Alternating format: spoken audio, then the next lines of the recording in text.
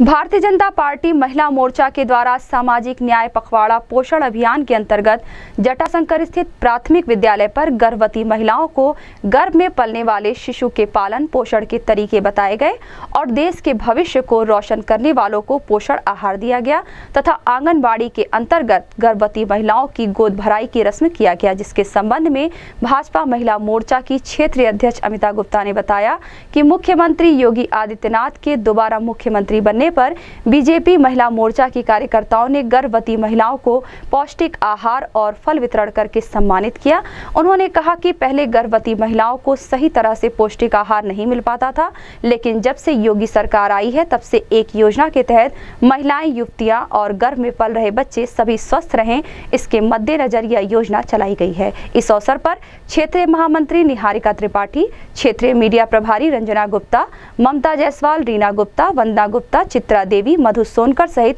भाजपा कार्यकर्ता मौजूद रहे। इस संबंध में गोरखपुर न्यूज़ से बात करते हुए भाजपा की महिला मोर्चा की क्षेत्रीय अध्यक्ष अमिता गुप्ता ने कहा।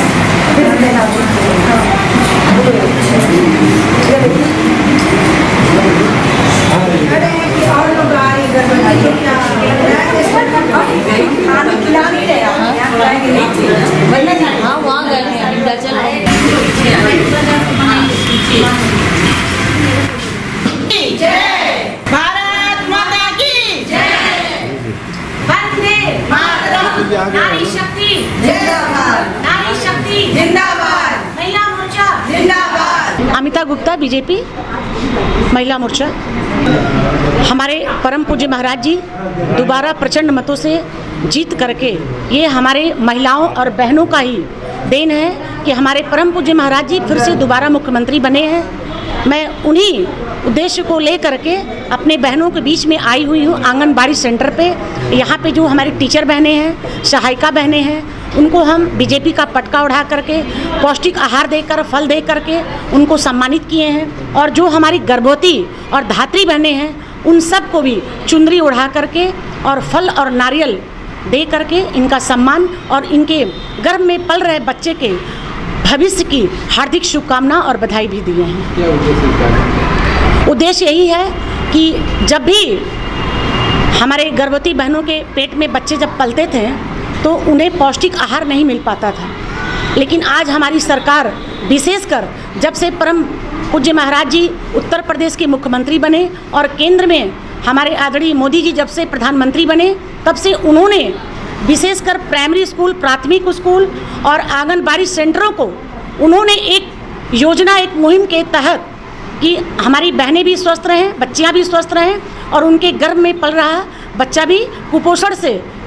रहित रह करके वो स्वस्थ बच्चा पैदा हो, क्योंकि स्वस्थ बच्चे ही हमारे क्या नाम से, भारत के भविष्य हैं। तो ये सोच करके